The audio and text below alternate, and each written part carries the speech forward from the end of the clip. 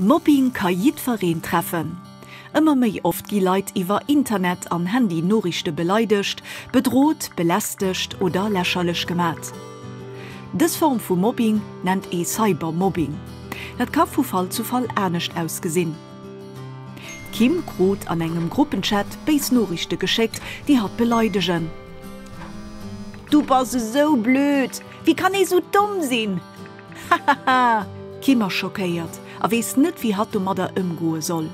Hat Frezech wat hat falsch gemerk huet. Sugur an der Schoul schwäze Singfren net mi Team. Den Dominik huet doch schon so Erfahrunge gemerk. Een aus engem Handballverein huet eng peinlech Foto vun him op soziale Netzwerker gepost. A kurzer Zeit gouft es Foto ganz viel geguckt a gedeelt.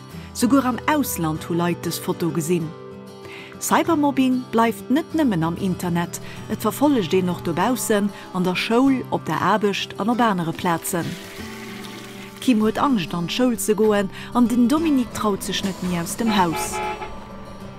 Kim kann net nie gut schlofen an den Dominik huet se oft Bauchfei a Kapfei. An dese Fäll hëllefdet mat den Ären oder enger vertrauter Persoun ze schwätzen. So kann e besser du mat ëmgoen. Auch bei der Helpline vu BSecure kann jietverein urufen wie iwwer Cybermobbing ze schwätzen. Nummer ass 8002 1234. Jedereen kann er beskéint Cybermobbing ënnerhoelen. Mer deppes, er guckt net de wäsch.